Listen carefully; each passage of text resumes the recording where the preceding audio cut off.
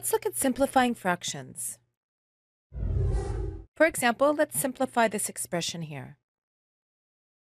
Now, these types of fractions, where the numerator or denominator or both contain a fraction, are often referred to as either complex fractions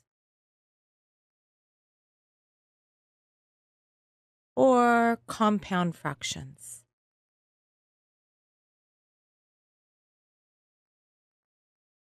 However, don't confuse the word complex here with the complex number system.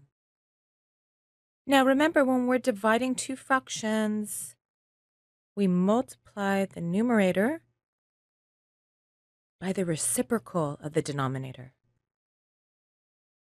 That is, we flip the bottom fraction and multiply.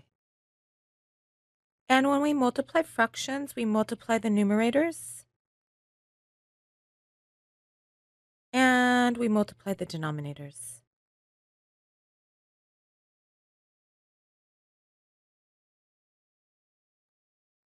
And now this x squared minus 9 will factor. It's a difference of two squares, which gives us 5 times 3 plus x divided by 15x times, and this factors into x plus 3 times x minus 3. Now x plus 3 and 3 plus x will cancel. And we're assuming here, of course, that x does not equal negative 3. And 5 goes into 15 three times, so we'll have a 3 left here in the denominator. And therefore, our answer is 1 divided by 3x times x minus 3. All right, let's see another example. Let's simplify this fraction. Now, there are different approaches here. For example, we could work with the numerator separately and then work with the denominator separately. However, the method that students seem to like best when working with this type of fraction is to first eliminate these denominators here.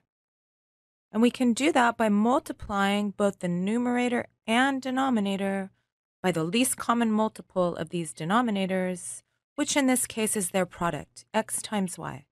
So let's do that. We'll multiply the numerator by x times y as well as the denominator. Again, when multiplying fractions, we multiply the numerators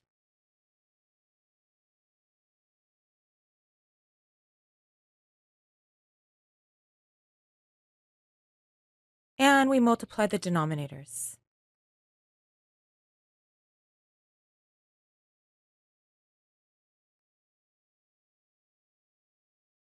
And now we'll distribute this xy to these three terms, as well as distribute this xy to these two terms, which gives us x divided by y times xy plus negative 2 times xy plus y divided by x times xy, all divided by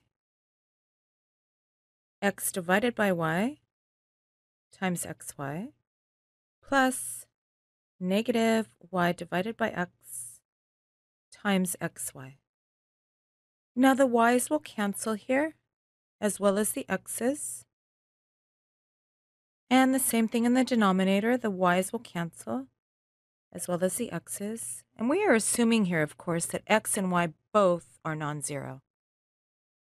And what are we left with?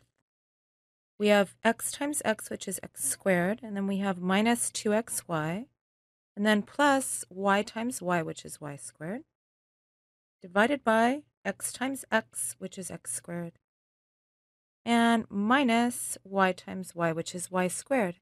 And look, we've eliminated those original denominators. And now we can factor.